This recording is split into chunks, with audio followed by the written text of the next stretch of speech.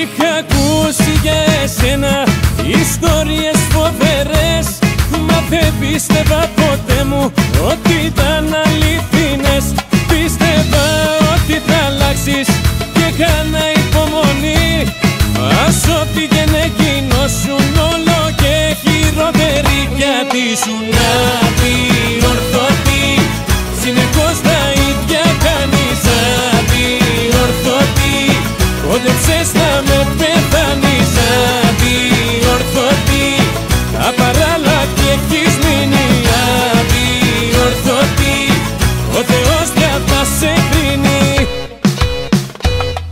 Πίστευα πως θα σε φέρω στα μέρα μου τελικά.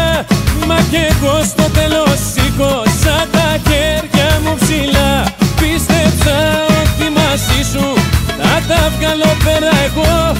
Μα κατάλαβα στο τέλος ότι ήταν αδυνατόν γιατί σου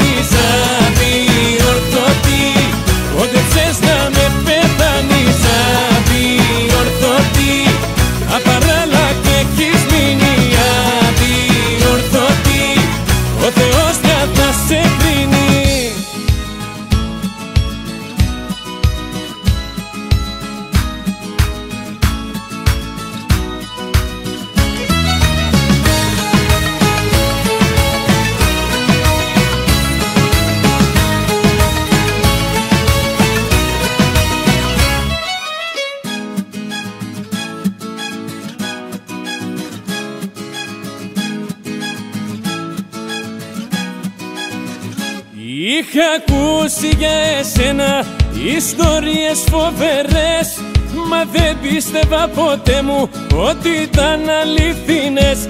Πίστευα ότι θα αλλάξεις και έκανα υπομονή. Ας ό,τι και γινώσουν όλο και χειρότερη